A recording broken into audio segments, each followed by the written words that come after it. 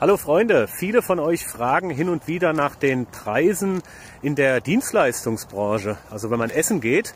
Und ähm, ja, da habe ich jetzt ein paar Sachen notiert, als wir das letzte Mal essen waren. Und zwar war das die älteste Pizzeria hier in äh, Polkowice. Das war die Pizzeria Cinema.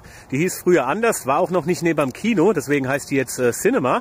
Und äh, da haben wir bezahlt 124 Zloty, also umgerechnet 26 Euro für äh, eine große Pizza. Die haben wir zusammen gegessen.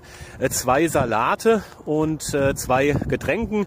Äh, das war Lech Free Limonka, also ein alkoholfreies Bier in großer Größe. Also das dürfte so 0,5 gewesen sein.